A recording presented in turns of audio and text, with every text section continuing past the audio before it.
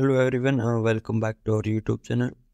In this video, uh, we will guide you through the process of resolving issues with the Sky News app not working. So without any further delay, uh, let's come to the main part of the video.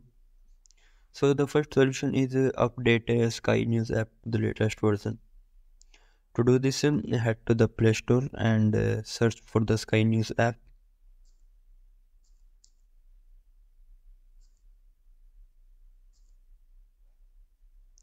After that, select the app. If an update is available, you will see an update button next to the app. Tap on it to update the app to the latest version. Once uh, updated, launch the app again. Second solution is uh, force close and restart Sky News app. So uh, for this, uh, open your phone setting and navigate to the app manager after that, uh, select the Sky News app from the app list.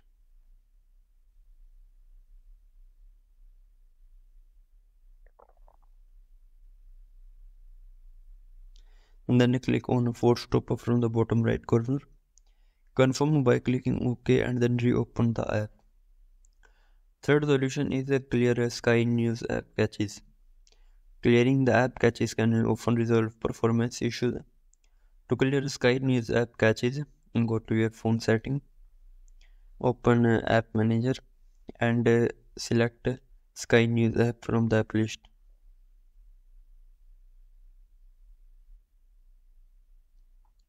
Then click on Storage and Caches, and finally tap on Clear Caches to clear the app caches. Fourth solution is disable and enable your internet connection. If the issue persists, to try toggling your internet connection. If uh, you are using a mobile data, then turn it off for uh, 5 to 10 seconds and then switch it back on. For Wi-Fi users, uh, turn off Wi-Fi for the same duration and then turn it on.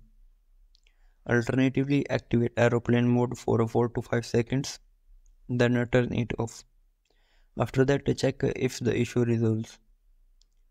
A fifth solution is uninstall and reinstall the Sky News app.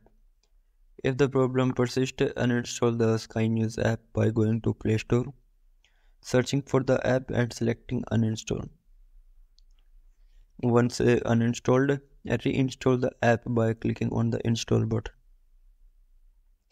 If if none of the above methods work, the issue may be Sky News app server is down in such cases, uh, you may need to wait for some time and try again later.